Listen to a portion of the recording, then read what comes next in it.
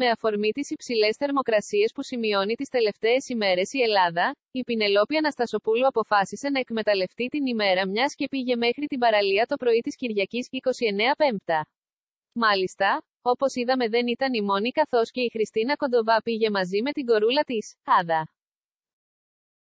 Η γνωστή ηθοποιός είναι αρκετά ενεργή μέσα από τον λογαριασμό της στο Instagram, μιας και αρκετά συχνά της αρέσει να μοιράζεται με τους διαδικτυακούς της φίλους διάφορες στιγμές από την καθημερινότητά της. Όπω θα δείτε και εσείς παρακάτω, η Πινελόπη Αναστασοπούλου πόζαρε το κρύβοντας με τα χέρια της στα επίμαχα σημεία.